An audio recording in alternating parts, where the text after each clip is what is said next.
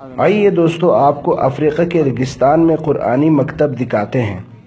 न पर्श है, न कालीन, न छत है, न दीवारें, न कंप्यूटर है, न प्रोजेक्टर। यहाँ तक के न कलम है, न कागज़।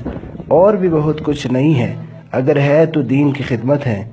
यहाँ कुरान की नस्बत है और यही बहुत कुछ है। इस वीडियो को ज़रूर शेयर करें ताकि मालूम हो जाए कि कुरान सीखने के लिए आपके पास वसाइल नहीं, सिर्फ़ ईमान में